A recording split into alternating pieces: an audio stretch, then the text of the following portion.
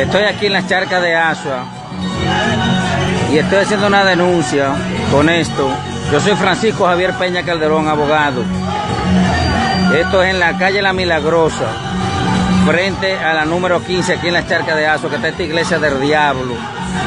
Que ya he llamado a 911 y me refirieron a la policía de Asua. Y he llamado a la policía de Asua y no hacen caso. Anoche amanecieron esta gente del diablo, de esta iglesia protestante, donde se habla más del diablo que de Dios. Y le estoy haciendo un llamado a las autoridades para que tomen carta en el asunto.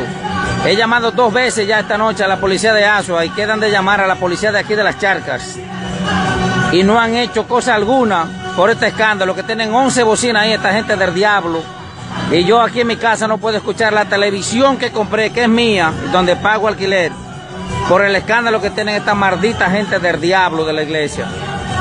Así que le estoy haciendo un llamado a las autoridades de medio ambiente, del 911 y la Policía Nacional, porque cuando empiece a matar gente y soy abogado, voy a empezar primero por las autoridades del diablo, de este país del diablo. Está hablando un abogado que conoce las leyes, que sea lo que me expongo, que si tuviera un fusil me parara ahí y los barriera todo ahora mismo y se acabara el perro y la rabia. Eso es para que tomen carta en el asunto autoridades del diablo de este país.